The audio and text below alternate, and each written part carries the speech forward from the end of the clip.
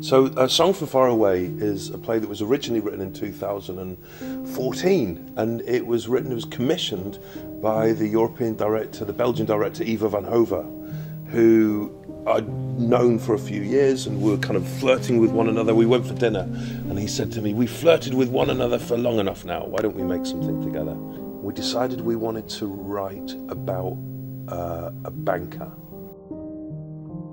For me, it deals with a lot of key subjects. You know, it deals with grief, it deals with family relationships.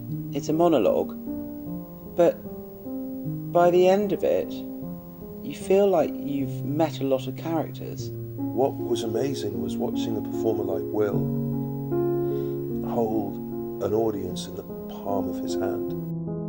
I mean, it's like it's top level writing and it's top level songwriting.